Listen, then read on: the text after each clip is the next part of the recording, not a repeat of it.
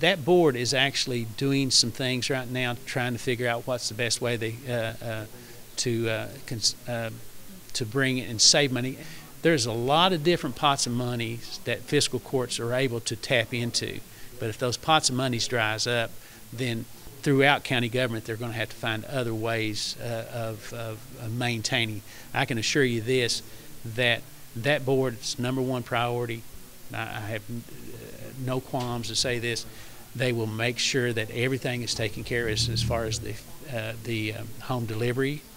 They will do as much as possible to have uh, what they call the congregate meal. All those things they don't take that lightly either.